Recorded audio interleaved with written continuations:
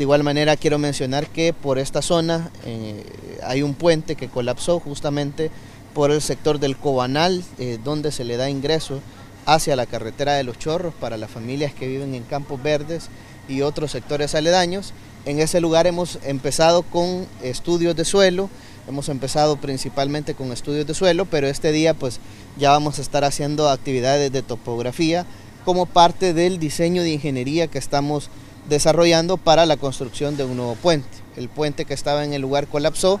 procedimos nosotros a remover la estructura existente que de alguna manera pues estaba haciendo un taponamiento en el cauce del río.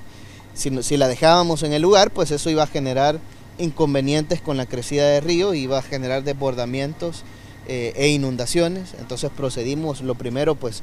a eliminar esa estructura que estaba en el cauce del río y ahora pues estamos trabajando ya en la parte del diseño de ingeniería con estudios de suelo y con topografía que iniciamos ya este día para poder delimitar volúmenes de obra eh, y un presupuesto para poder hacer un proceso de contratación y pues posteriormente iniciar con las obras de construcción del nuevo puente en este lugar. Más o menos el puente tendrá una dimensión de 20 metros de longitud aproximadamente, la obra que vamos a hacer,